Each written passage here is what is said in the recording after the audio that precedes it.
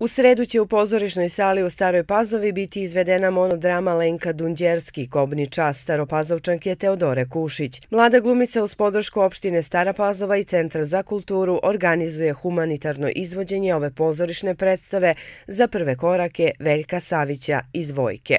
To je dete kome je neophodan novac zbog terapija, e, rođen je zdrav, ali nakon tri meseca se javljaju brojne komplikacije zbog kojih Veljko nema mogućnost da ima detinstvo kao sva ostala deca.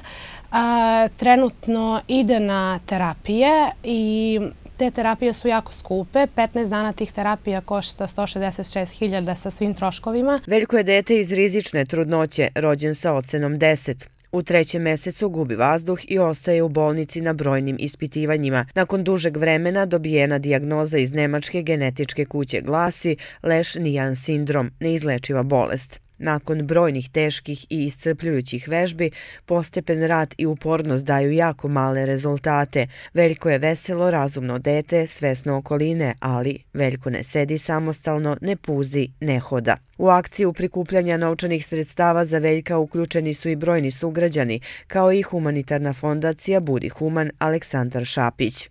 Za Veljkove prve korake e, možete da pošaljete poruku 739 na 3030 ili da evo ima dinarski žiro račun i da tu uplati ko koliko može. E, svaki dinar nam znači i ja sam napred zahvaljujem svima koji su tu da podrže nas i prvenstveno našeg Veljka.